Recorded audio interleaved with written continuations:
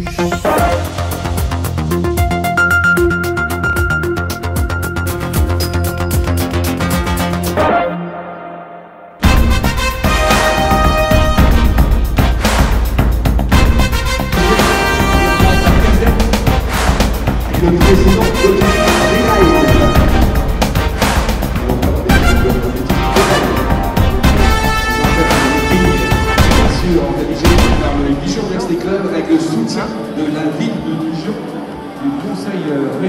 Bourgogne et du conseil général de Côte.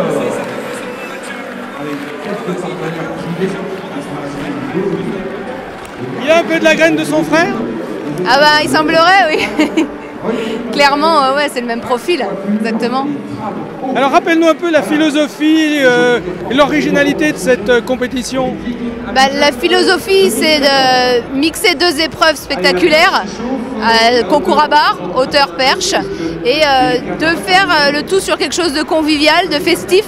Ce qu'on veut c'est que les spécialistes s'y retrouvent et les gens qui seraient complètement novices apprécient de passer deux heures à regarder sauter des athlètes qu'ils n'ont peut-être jamais vus vraiment ou qu'ils ont entendu parler simplement. Voilà.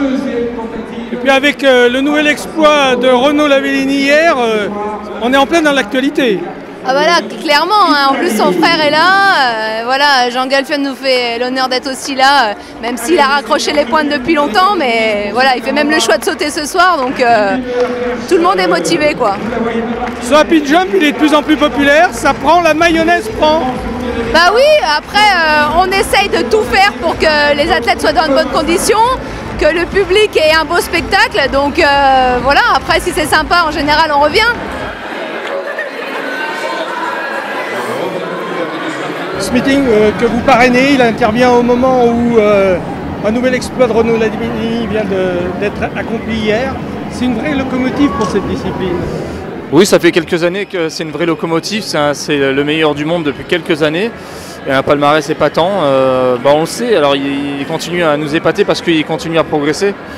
Voilà, hier, il a juste montré encore qu'il avait ajouté quelque chose de plus dans- à son talent. Euh, 6,08, ça, ça- c'est- là, ça commence vraiment à chiffrer, à être énorme. hein. donc, euh, donc oui, c'est une locomotive, c'est sûr. ouais, ouais. On n'est pas au bout de nos surprises avec lui? Oh bah, euh, moi je dis plus rien hein, parce que de- depuis qu'il est, euh, depuis qu'il est espoir, euh, il nous épate à chaque sortie donc euh, je sais pas où il va s'arrêter. ouais. La Fédération française vous a confié une mission, vous pouvez nous en dire un mot, nous dire de quoi il s'agit?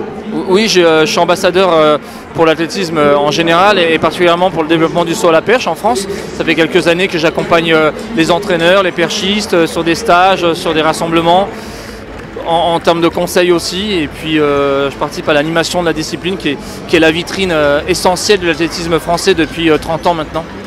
Vous allez ce soir rechausser les... Bah, si j'ai le temps, je suis à la bourre et euh, ils sont déjà en train de s'échauffer. Alors, je sais pas ce que ça va donner. Déjà, c'est pas fameux. Alors, mais bon, c'est surtout pour jouer, et pour m'amuser. Ouais. Ouais, ouais.